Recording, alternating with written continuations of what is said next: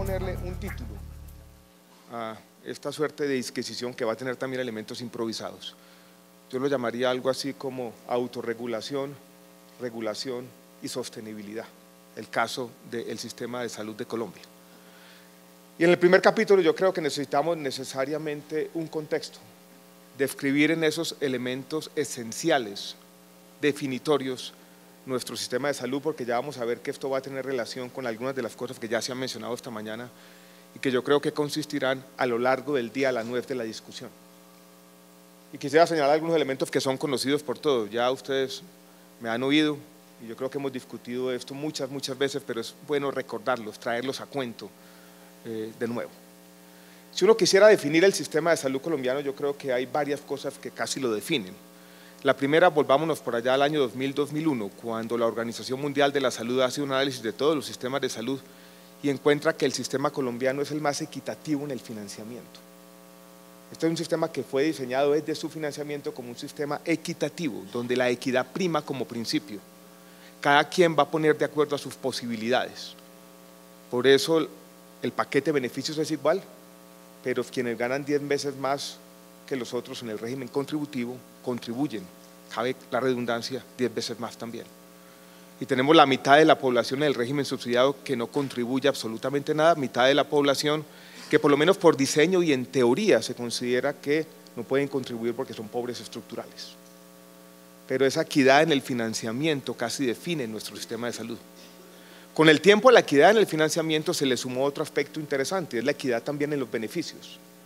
Colombia es, el único país en la región donde eh, tenemos un mismo paquete de beneficios para quienes contribuyen y no lo hacen, por lo menos donde podemos hacer las comparaciones la brecha que, por ejemplo, existe en México entre quienes son afiliados al Instituto Mexicano de los Seguros Sociales y quienes están en el Seguro Popular es grandísima. Y así podríamos recorrer eh, la región latinoamericana. Todo eso nos lleva a una característica fundamental y que va a estar en el centro de mi argumento, y todavía estoy en el primer capítulo, y es el bajo gasto de bolsillo, la protección financiera que casi define nuestro sistema de salud. Esa variable que mencionamos muchas veces del 14%, que es el gasto de bolsillo como porcentaje total del gasto en salud, donde el porcentaje de la región está cercano al 40%. Eso es muy importante tenerlo en cuenta, porque lo que implica, y yo creo que esa salve la conclusión más importante de esta primera parte, es que estamos pagando la salud en condiciones de equidad mancomunadamente y todo el mundo está recibiendo lo mismo. Si nosotros quisiéramos hacer una comparación, por ejemplo, con el sistema pensional, que tiene el mismo origen legal, hace parte de la misma ley, vamos a encontrar una diferencia sustancial. En las pensiones, no nos digamos mentiras, uno podría definir el sistema pensional colombiano como un sistema inequitativo, donde la gran mayoría de la población no va a tener acceso a una pensión y muy pocos reciben mucho. En la salud, vuelvo y repito, el principio es un principio de equidad, donde todos reciben lo mismo y cada quien contribuye de acuerdo a sus posibilidades. Y yo creo que eso es importante que lo tengamos en cuenta. Hay otra característica que complica las cosas y ahí empiezan, a, Gustavo, a juntarse eh, los argumentos y es la alta judicialización, que tiene dos dimensiones, creo yo. Una dimensión jurisprudencial ya recogida en sus principios fundamentales en la ley estatutaria en salud, pero hay otra dimensión que muchas veces no se tiene en cuenta en el debate público, yo la llamaría la dimensión sociológica, que se traduce en una baja o muy baja o casi nula capacidad a pagar o disponibilidad a pagar mejor de la población por temas de salud.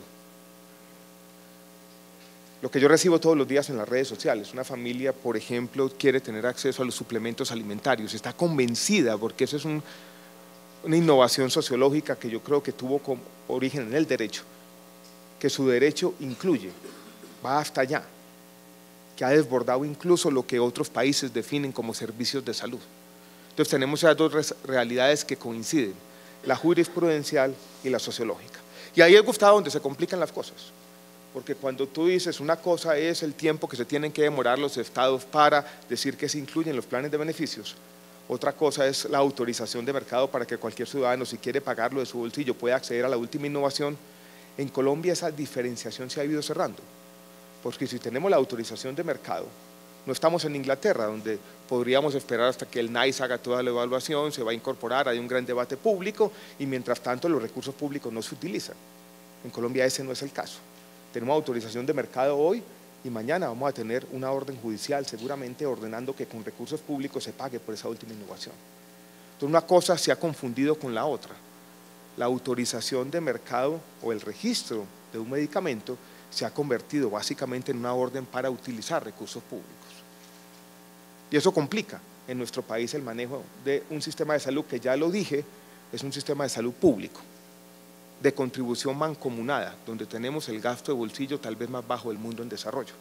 La última comparación de la OECD nos ponía en América Latina en lugar con Uruguay, yo conozco las últimas que hemos hecho en el Ministerio, donde tenemos el gasto de bolsillo más bajo del mundo en desarrollo. La semana pasada con el exalcalde de Bogotá, para nuestros visitantes Santana Mocus, hacíamos una especie de disquisición y quiero que lo que quede de este primer capítulo de mi presentación es entender que nuestro sistema de salud, utilizando un, un coloquialismo, un colombianismo, es una vaca, lo que llamarían en inglés un common pool. Todos estamos contribuyendo los recursos, poniéndolos aquí en una olla pública, como si nosotros todos fuéramos a almorzar después de eh, oír las conferencias esta mañana, ya con hambre, alrededor de la una de la tarde. Ponemos toda la plata aquí en este cajón y después cada uno va y mira el menú y ordena lo que tiene que ordenar. Así es como pagamos la salud de nuestro país. Yo creo que esa es una primera idea que debemos tener en cuenta, bajo gasto de bolsillo, equidad en el financiamiento, equidad en los beneficios. Así se define, es un sistema público, donde por supuesto las concepciones de mercado tienen que estar morigeradas, en un sentido claro que voy a explicar en un minuto.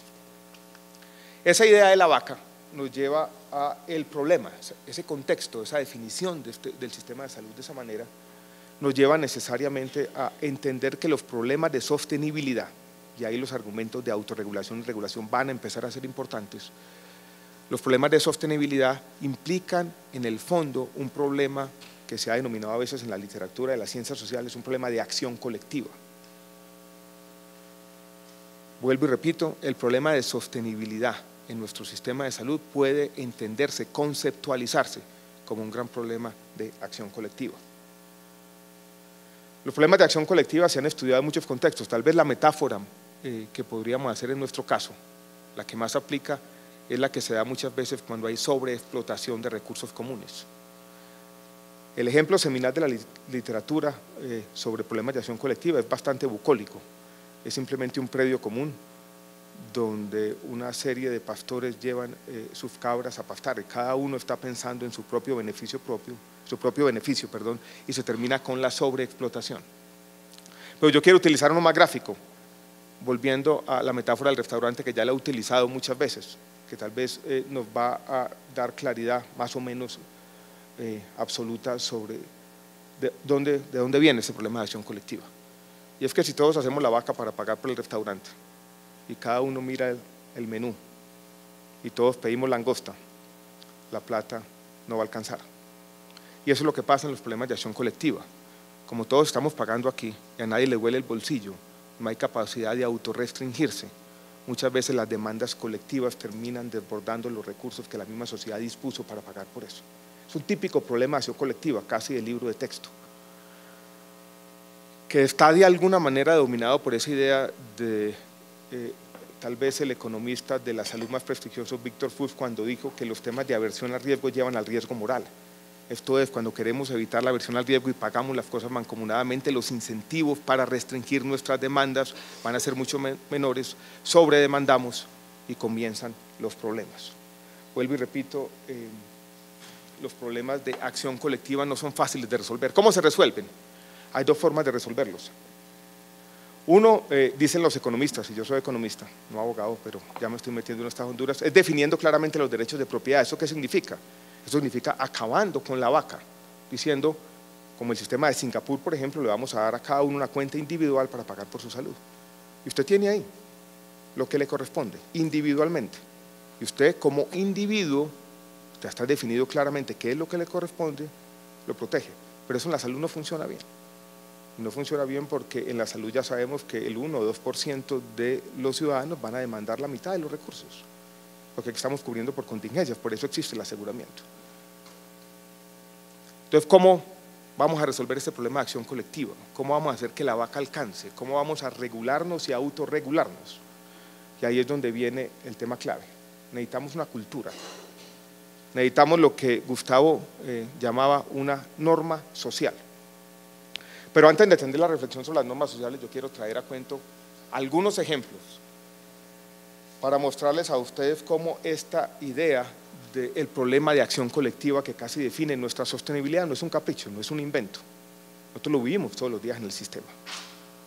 Voy a dar algunos eh, ejemplos recurridos. Voy a empezar con uno que no es de Colombia, que lo leí hace aproximadamente eh, seis meses en un libro de una periodista eh, norteamericana, californiana, Kate Butler se llama. El libro es sobre la historia de su padre, se llama Knocking, on Heaven's Door, tocando la puerta del cielo. Y es la historia sobre una enfermedad terminal de su padre. Tiene un accidente cerebrovascular a los 79 años, eh, recibe un marcapasos y después empieza una lucha con el sistema de salud americano. Pero no es una lucha porque no le den cosas, es una lucha porque eh, tal vez dejen de hacerle intervenciones cuando ya no las necesita. Cinco años después del accidente cerebrovascular, cuando ya tenía 85 años, Medicare consigue que este señor, que ya estaba con un estado avanzado de demencia, le apliquen un biológico en el ojo porque tenía una catarata, abastín, digámoslo claramente, y eso cuesta 70 mil dólares. Esa era una forma casi de tortura a esta persona, no la necesitaba, había más o menos eh, conciencia absoluta que se estaba haciendo un intervencionismo exagerado. Pero no había un incentivo de nadie para levantar la mano y decir lo que estamos haciendo aquí es absurdo y va incluso contra los derechos humanos de esta persona. Se estaba violando, creo yo, un principio ético por falta de regulación y autorregulación superpuestas en este caso. Y no digamos mentiras, eh, eso pasa, pasa todos los días, no solamente en el sistema de salud americano, sino en muchos de los sistemas de salud, porque tenemos unos recursos colectivos que no siempre cuidamos. Nadie estaba diciendo, esto es esta plata es de todos, esto es una vaca. Y voy a volver sobre eh, la figura que quiero decirle, de la que hablábamos la semana pasada, que debe ser sagrada, donde alguien tiene que levantar la mano en algún momento y decir, estamos haciendo un mal uso de los recursos que no está contribuyendo al bienestar de nadie, sino todo lo contrario. Ejemplos de Colombia, de todos los días, de cómo eh, con este uso común de recursos los malgastamos. Tuve una conversación hace un año con la persona que se encarga en una empresa aquí en Colombia de la comercialización de pañales para adultos. Tiene el 70% del mercado, producto familia. Me dijo algo que me dejó aterrado y de entonces he repetido en todos los escenarios. El 30% de ese mercado de pañales para adultos en Colombia es un mercado de reventa, porque los pacientes reciben más de lo que necesitan y lo venden. Los médicos prescriben muchas veces 5, 10, 15, 20 pañales diarios el máximo sería tres o cuatro. Y nadie dice nada. Y esta situación ha venido prevaleciendo eh, por cinco, diez años si se quiere.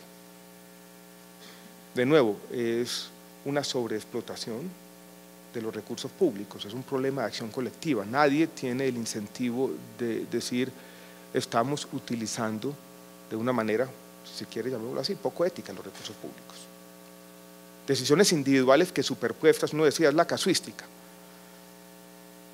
Nos lo decía el profesor Antanas Mocu la semana pasada, la importancia de denunciar los pequeños fraudes para que estas normas sociales vayan prevaleciendo.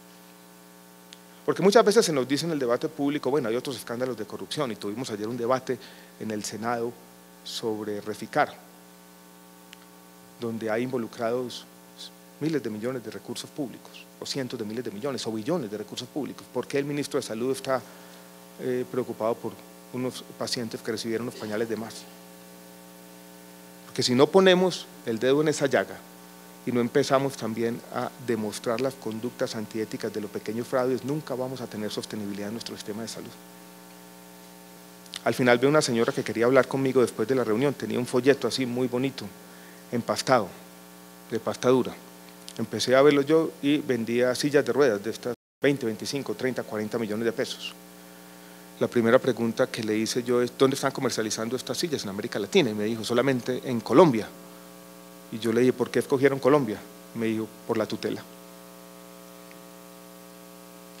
Habían encontrado en la tutela una forma de vender este producto sin tener mediado ningún análisis de nada. Era uso de gasto público por una decisión judicial y nadie se había puesto a pensar, ni siquiera en el Ministerio de Salud, si ese era el mejor uso de los recursos de todos, de esta vaca, de estos recursos colectivos.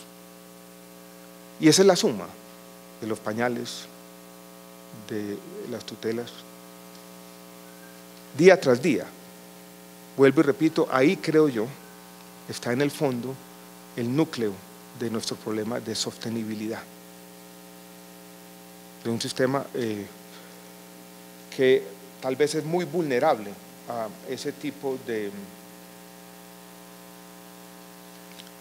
no digamos abusos, pero sí sobre demanda y sobre explotación de estos recursos públicos. Las cosas se complican y comienzan a ser más difíciles y éticamente tal vez más eh, complejas de analizar cuando Gustavo y todos hablamos de las nuevas tecnologías. Porque con las nuevas tecnologías hay en muchos casos un valor agregado. Y cuando ya uno tiene análisis de costo-efectividad, todo es más difícil porque en el fondo este tipo de consideraciones sobre el uso de recursos comunes empieza a tener que tener respuestas a preguntas muy difíciles, es así de pura naturaleza ética. Y en el fondo es cuánto vale un mes de vida, cuánto vale una vida. Y yo creo que la incapacidad que hemos tenido como sociedad de dar una respuesta clara a esa pregunta y poner unas reglas claras. Ustedes leen la sentencia T760, que es una sentencia grande, está llena de vericuetos administrativos, no tiene una reflexión filosófica sobre estos temas, no llega al fondo. Todo el mundo ha evadido, incluso nuestros jueces constitucionales, la pregunta fundamental y es si tenemos recursos escasos, ¿cómo vamos a tener un acuerdo legítimo como sociedad para establecer algunos límites? Y esos límites yo creo que tienen que ser fundamentales a la hora de incorporación de las nuevas tecnologías. Mm, estas son consideraciones éticas que claramente trascienden o desbordan lo que puede hacer el código de ética de ustedes, que tiene alguna importancia que yo voy a señalar más al comienzo, pero yo creo que son fundamentales. Si uno eh, quisiera tal vez exagerar en la grandilocuencia, podría decir que es la ausencia de una respuesta a esta gran pregunta ética lo que nos ha llevado a muchos de los problemas de sostenibilidad. Em, la presencia de dos factores entonces superpuestos, de un sistema que se define por esta contribución mancomunada en términos de equidad por la vaca, con los temas que enfrentan todos los sistemas de salud de presión tecnológica, yo creo que es lo que justifica este tipo de conversaciones que no son fáciles. ¿Qué es lo que hemos venido haciendo desde el Ministerio para ir resolviendo este problema de acción colectiva? Algunas normas, algunas normas, por ejemplo, de razonabilidad en los precios. La referenciación internacional no es otra cosa que eso. De regulación en los precios de los medicamentos algunas normas que propenden por la competencia también en condiciones razonables, a pesar de que todavía tenemos unos desacuerdos que en el fondo son técnicos y como son técnicos son más fáciles. En el fondo los desacuerdos más complejos son de estas cuestiones que involucran choques de principios y temas filosóficos. Los desacuerdos que tuvimos con algunos de ustedes, eh, por ejemplo, en el tema del decreto que reguló o estableció los parámetros para la introducción de la conversación de biosimilares en el país, yo creo que en el fondo son problemas que vamos a ir resolviendo entre todos en el tiempo. Cómo tenemos una incorporación racional de tecnologías, donde lo que agregue valor o mucho valor o valor suficiente dadas los eh, recursos escasos, pues debe entrar, lo otro no todavía. Ahí eh, es donde el artículo 72, Gustavo y todos, yo creo que lo que sí está haciendo es supliendo por algo que nosotros no hemos encontrado, y es la autorregulación, donde es muy difícil que para una compañía individualmente yo diga, no, esta, esta eh, tecnología yo no la voy a llevar a Colombia porque ya tiene un gasto de bolsillo muy bajo. Todo lo contrario, porque los incentivos apuntan en la otra dirección. Entonces hemos tenido, con el artículo 72, que yo lo digo claramente, es agresivo en ese sentido trata de darle al Estado una prerrogativa grande, un fortalecimiento de esa puerta de entrada, como no lo tienen otros países del mundo del desarrollo, pero yo creo que lo que dije al comienzo apuntaba a eso, es decir, aquí, aquí tenemos unas circunstancias en Colombia que son bastante peculiares, que de pronto ameritan ese tipo de intervenciones. Pero ninguno de estos temas, ni la regulación de precios de medicamentos, ni la mayor competencia que estamos incentivando, ni el artículo 72 del plan de desarrollo, nos va a resolver el problema por sí solo. Y aquí es donde viene, yo creo que tal vez el mensaje más importante. Y es, ojalá tuviéramos o empezáramos a crear desde esta reunión para adelante esas normas sociales. Yo las definí de manera similar como las había descrito Gustavo. Reglas no escritas que complementen a las normas escritas, a las que nos terminamos adhiriendo casi como cuestión de principio. Que el médico que está prescribiendo los pañales, que el que está mandando la silla de ruedas que vale 35 o 40 millones de pesos, que el que está prescribiendo el abastín para la persona que tiene 85 años y no puede salir de su casa, y eso no le va a tener en ese momento los años o meses que le quedan de vida eh, poco tienen que ver con ese tipo de intervencionismo, tienen que ver más bien con el cuidado, con la humanización, no con la tecnología. Que eso esté, empiece a estar como una norma social, como una regla para todo el mundo. Eso no es fácil. Eso no es fácil que no nos digamos mentiras, todos estamos inmersos eh, en un ambiente que exige eh, muchas veces otro tipo de conductas. Pero yo creo que empezar por aquí, a, decir, entendamos la realidad de nuestro sistema de salud, entendamos la realidad de un problema complejo de acción colectiva y empezamos entre todos a propender por unas normas de conducta que nos garanticen esa coexistencia, porque la industria farmacéutica es fundamental para lo que hacemos. Sin la presencia de la industria, mucho de lo que se hace todos los días, aquí están varios pacientes, pues no tendría sentido. Pero necesitamos esa norma social. ¿Cómo hacerlo entonces? Aquí hay un código de ética, que es un librito, pero eh, no es de esa forma. Antana Mocus también nos decía una cosa interesante la semana pasada. Mostraba una imagen de Moisés bajando por allá del templo con el decálogo, los diez mandamientos, y lo rompía. Y romperlo significa que uno tiene que pasar en algún momento cuando las normas están escritas en papel a que estén escritas, lo voy a decir con grandilocuencia, no solamente en la mente, sino en el corazón de los hombres. Y eso es lo que hay que hacer, que ese código de ética está escrito en la mente de cada uno y empiece efectivamente a regular conductas. Y eso es lo que se llama autorregulación. Cuando las normas pasan del papel aquí, y por lo menos nos empezamos a preguntar que la vaca, esa vaca tiene que ser sagrada, y yo creo que tiene ese entendimiento del problema, ese entendimiento de la dificultad, esa problemación colectiva, nos va a convertir a cada uno también en parte de la solución, no del problema. Pero eso no es fácil, ¿no? ¿Cómo veo yo el problema? Entonces tenemos que entre todos tratar de generar esto que uno podría llamar en términos generales una cultura, una cultura de respeto a los recursos de todos, una cultura de respeto a los recursos de la seguridad social que son de todos. Recuerden que la seguridad social está en el centro del Estado moderno. Y para que eso pase, eh, yo que fui profesor de teoría de juegos por allá, y la ingeniería de normas sociales no es fácil, no, es fácil escribir en la mente de quienes están tomando decisiones esas normas de conducta. generalmente se van a encontrar a tres tipos de agentes. Unos que son minoría en la gran mayoría de los casos, pero que son muy perjudiciales, son los que no cumplen las normas, las que no la tienen aquí. Las otras son las que las cumplen, pero las cumplen pasivamente.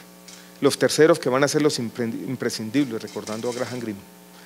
Esos terceros imprescindibles son los que las cumplen y las hacen cumplir. Y esos terceros van a ser fundamentales, Gustavo y todos, para que este código de ética no se quede en el papel. Eso va a necesitar un tipo de agentes activos que lo van a, tomar como parte de su accionar permanente y realmente lo van a cumplir como cuestión de principio, sino van a estar vigilantes a que todo el mundo lo cumpla. Sin esos agentes, sin los imprescindibles, va a ser difícil que esto eh, llegue a cumplirse y que la autorregulación sea una realidad. Y la autorregulación va a tener que complementarse con regulación también. No es fácil hacer una cosa de la otra.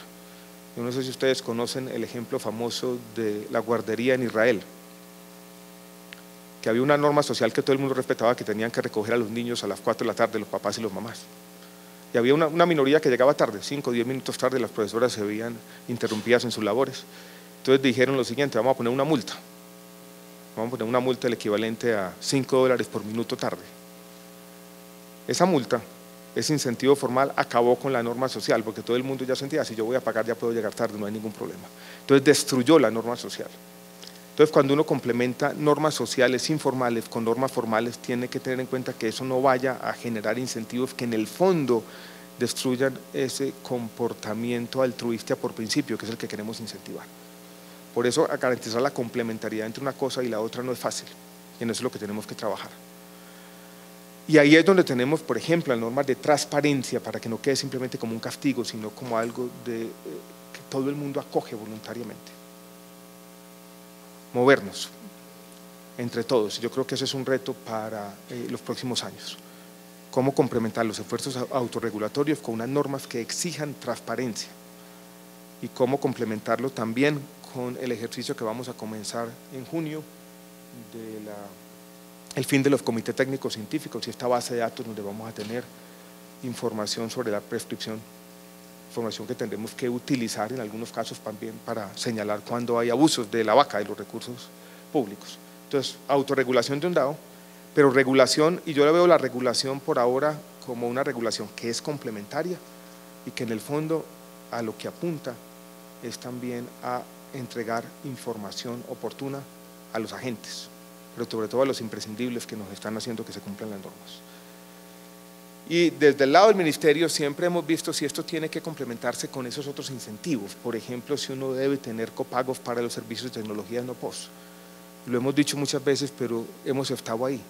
Que sí, que no, porque tenemos problemas eh, con la jurisprudencia y no queremos que esto sea simplemente un asunto pecuniario. Queremos más bien transmitir por ahora la idea que en Colombia, para consolidar un estado de bienestar hacia el futuro, tenemos que tener una cultura. Una cultura que acompañe los contratos sociales y que acompañe nuestras normas. Y que la autorregulación no solamente es de la industria, no solamente es de los médicos, sino también tiene que ser de los ciudadanos y todos los agentes del sistema. Cada que se nos presenta un carro de corrupción, todo esto pierde sentido porque de alguna manera eso genera en los ciudadanos la idea de que no se están cuidando los recursos. ¿Qué más da? Porque me exigen a mí que lo haga. Y eso es bastante nocivo. Eh, esa era la historia en cinco capítulos eh, que quería contarles hoy. Es simplemente una reflexión general que por lo menos les dejó una idea. Esto no es fácil, pero nos involucra a todos.